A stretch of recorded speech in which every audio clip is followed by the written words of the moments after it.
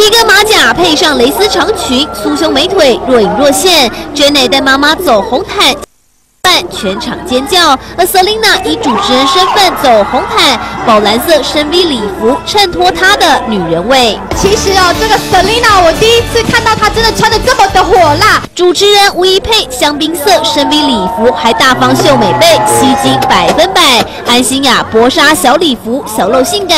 而升格当人妻的侯佩岑打扮落落大方，被设计师林国基封为红毯第一美。其实侯佩岑整个在款式的挑选，它的颜色也跟今年的那种红地毯完全跳出来，整个的饰品啊，还有她的妆法都搭配的非常成功。还有女星隋棠，身材曲线毕露，枫叶薄纱遮住重点部位。宅男女神郭雪芙、李玉芬，平口礼服典雅亮相。东森主播舒梦兰和摄影陈一松也盛装走红毯。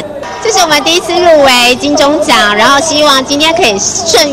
幸运的超金钟，加油，东森加油！另外，妍妍瘦身有成，今年打扮美美，成功血耻。其他女星像陶晶莹、赖雅妍，穿着相对保守，还有人没找到适合的打扮。